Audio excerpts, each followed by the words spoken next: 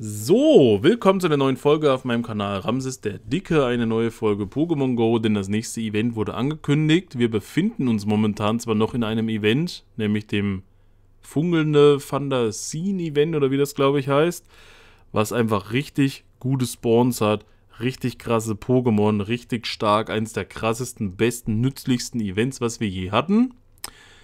Und jetzt wurde das nächste Event angekündigt, was wahrscheinlich dann eher das komplette Gegenteil ist, denn auf den ersten Blick gibt es da einfach gar nichts. Keine neuen Pokémon, keine neuen Shinies.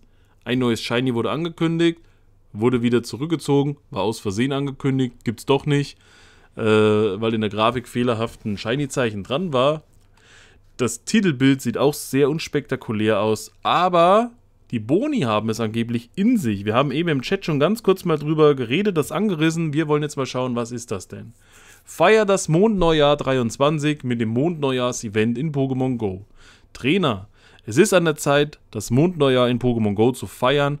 Wildes Gobble und Haspiro erscheinen, erscheinen dabei häufiger. Außerdem könnt ihr euch auf weitere Event-Pokémon freuen, denen ihr unterwegs bei Raid-Kämpfen und durch das Ausbrühen von Eiern begegnen könnt.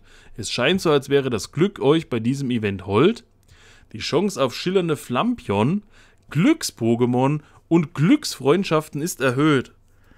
Leider habe ich schon alle Pokémon als Glücks-Pokémon. Da bin ich immer hinterher. Jetzt auch als Kekleon kam direkt, zack, Glückskekleon geholt, damit ich da nichts vergesse und nichts liegen bleibt. Kann ich jetzt nicht unbedingt so nutzen. Glücks, Freunde, ich habe immer noch 34, 35 Stück, wenn ich einen garantierten Glückstausch am Tag mit einem Freund mache, kriege ich am selben Tag vielleicht zwei Glücksfreunde wieder hinzu. Das ist mir jetzt schon zu krass. Ich komme einfach nicht hinterher. Ich brauche mehr Glückstrades, mehr Spezialtrades, die man am Tag machen kann. Äh, den Rest freut es natürlich. Vielleicht wird man ja mal mit jemandem glücklich, mit dem man bisher noch nie glücklich war. Und schillernde Flampion, also das rote Ding, was dann rosa wird. Ich habe so viel im Beutel. Das kam mir vor, als wäre das schon immer irgendwie erhöht gewesen. Bei dem Weißen würde ich mich freuen. Da mussten wir damals raiden, aber das Rote ist vielleicht jetzt auch nicht mehr so begehrt. Ist trotzdem ein starkes Pokémon. Machen wir uns nichts vor. Aber ja. Was gibt es denn trotzdem für Spawns? Mondneujahr 23. Von Donnerstag, dem 19. Januar, 10 Uhr, bis Montag, dem 23. Januar, 20 Uhr. Das läuft also nur vier Tage an sich. Wilde Pokémon, die häufiger erscheinen. Ponita, Magma, Carbador, Schneckmark, Kamaup, Vadribie, Haspiror, Phynx, Skobble. Phynx, da war auch ein Shiny-Symbol dran, deswegen gab es den Aufruhr vorhin. Jetzt haben sie es überarbeitet, jetzt ist es nicht mehr da. Hieß schon wieder, ja toll, das braucht doch ein Siede, jetzt tun die das vorher schon rein. Ihr seht also, vermehrt sind das irgendwie alles so Feuer-Pokémon. Ne? Gabador, das Feuer-Pokémon, wer kennt's? Kann auf jeden Fall alles shiny sein, bis, aus, bis auf Phynx. Mit etwas Glück begegnet ihr auch Flambion oder Flamara. Die Chance auf Shiny Flambion ist also erhöht, aber es taucht relativ seltener in der Wildnis auf. Flamara, pff, kann nicht Shiny sein? Ja, braucht man jetzt auch nicht unbedingt. Was ist davon gut? Carbador, Garados, Mega Garados ist auf jeden Fall nützlich. 400 Bonbons für die Entwicklung, Gabador, Mega Garados, Energie, alles hin und her. Würde mich auf jeden Fall reizen. Vadripie wäre noch ein Shiny, weibliches Vadripie sucht, weil man ja nur das Shiny entwickeln kann. Das vielleicht ein Anreiz. Kamaup, Kamerupt, bekommt nochmal eine Mega-Entwicklung. Haspiror, Schlappohr, Mega-Schlappohr, Mega-Entwicklung, irgendwas. Rest sehe ich jetzt nicht so krass an. Obwohl Flampion, wie gesagt, ein guter Angreifer ist, gerade vom Typ Feuerangreifer super. Die Gala-Variante mit Eis auch richtig stark als Eisangreifer, aber hier ist ja kein eisiges da. Event Boni. Also, was, was wird mein Ziel sein? Das habe ich ja ganz vergessen. Äh, nix. So, das war mein Ziel. Weiter geht's. Event Boni. Erhöhte Chance auf schillernde Flampion. Erhöhte Chance, Glücksfreunde zu werden ein zusätzlicher Spezialtausch, das heißt maximal zwei pro Tag. Oh, Gott hat mich erhöht. Erhört. Obwohl, das bringt mir trotzdem nichts, weil es ja jetzt schon nicht passt und dann gleicht das vielleicht nur die noch erhöhtere Chance aus mit einem zusätzlichen Tausch, aber Erhöhte Chance, Glücks-Pokémon durch Tauschen zu erhalten, doppelter Sternstaub durch das Öffnen von Geschenken. Während des Mundneujahr-Events könnt ihr zwischen verschiedenen Boni als Belohnung für die befristete Forschung auswählen. Also ich begrüße es sehr mit den, mit den zwei Spezial-Trades. Ich suche nämlich unbedingt mein 100% Regi Eis, damit das, Duo, das Trio voll ist. Dazu brauche ich Lucky Trades, Lucky Trades, Lucky Trades, damit ich nicht so viel von dem Ding raiden muss, weil das kann ja nichts. Also hoffe ich, dass das vielleicht im Event mit den vermehrten äh, Trades dann passt. Befristete Forschung, glückliche Wünsche. Euch erwartet eine befristete Forschung, bei der ihr die Belohnung auswählen könnt, die ihr für das Ausbrüten von Eiern, das Einsetzen von täglichen Abenteuerrauch oder das Sammeln von Sternenstaub erhaltet.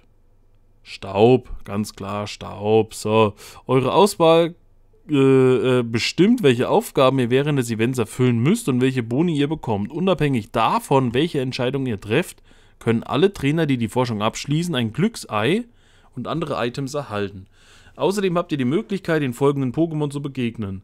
Carbador, Azumarill, Jungglut, Flampion, Galaflampion, sehr genial, Skobble.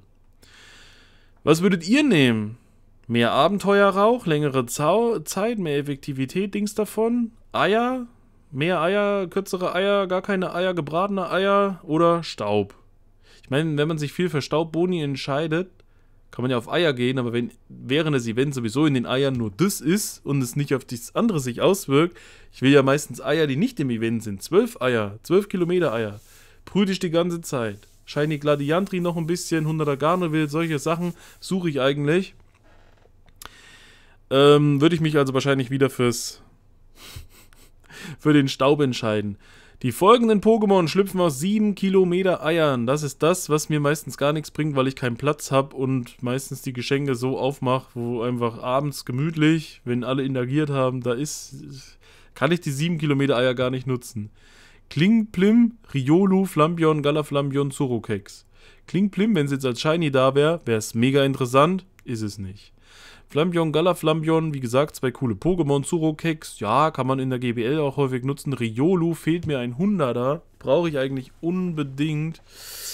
Muss ich wohl durch Mega Lucario irgendwann mal aus Mega Raid ziehen. Ihr könnt natürlich gerne Riolo brüden. Wer noch so ein gelbes Shiny sucht, ist hier vielleicht an der richtigen Adresse. Werdet ihr 7 Kilometer Eier brüden? Ja, nein, schreibt's mal rein. Raid-Kämpfe der Stufe 1. Hisui Voltoball? Nee. Shinux? Den Sidey gehabt, Flampion, Galaflampion. Also wer das Shiny Galaflampion noch braucht, könnte hier vielleicht auf Jagd gehen, aber ansonsten brauchst du hier eigentlich auch nicht viel. Raidkämpfe der Stufe 3, Flamara, Potrot, Logok, Shadrago, Krepit, Shadrago Shiny, interessant für manche vielleicht. Stufe 5 Regi Eis, wird wahrscheinlich gar niemanden interessieren. Mega Raids, Mega Schlappohr, wird wahrscheinlich auch kaum jemanden interessieren. Vielleicht sollte man also seine Pässe für Galaflampion oder Shadrago ausgeben. Wäre mein Tipp, meine Empfehlung. Rapid in der GBL ganz cool, aber ich muss 100er Regi Eis bekommen, noch ein paar XL sammeln. Für mich Regi Eis trotzdem als Ray das einzigste Grad. Feldforschungsaufgaben. Die folgenden, die folgenden Pokémon begegnet ihr als äh, den. Den folgenden Pokémon. Ich habe schon fünf Stunden Raids jetzt hinter mir, sorry. Den folgenden Pokémon begegnen dir als Belohnung für den Abschluss von Feldforschungsaufgaben Glumanda, Paras, Feurigel, Flemli, Panflam, Vadribia, Haspiror, Floing, Flambion, Galaflambion, Füng, Skobbel, Flamjau. Also die ganzen Feuerstarter sind hier vertreten aus allen möglichen Generationen. Beide Flambion-Formen auch wieder. Häschen ist am Start, Häschen in der Grube, genau. Paras Paras sehr cool. Paras gibt ja mehr Sternenstaub. Da werden sich einige freuen. Ansonsten, ja, nehmt halt mit, was ihr kriegen könnt. Avatar-Artikel und Sticker. Ab Beginn des Events könnt ihr im Shop folgende Artikel für euren Avatar kaufen. Auch nach dem Event werden diese noch erhältlich sein. Rote, Laterne, Rucksack. Nee, brauche ich nicht. Danke, das war's. So, was sind eure Highlights? Schreibt's mal rein. Vielleicht sollte ich das auch jetzt einfach als Bild nehmen. Für das Thumbnail, weil die haben ja einen Rucksack auf. Er ist auf jeden Fall detaillierter als hier oben einfach nur das.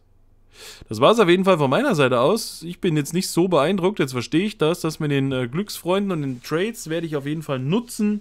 werde auf Regi Eis 100% Suche gehen, das mal zum Maxen irgendwann dann. Ansonsten viel Spaß mit dem Event, was wir jetzt gerade noch haben. Genießt das, bevor dann das kommt und nutzt das dann für Freunde.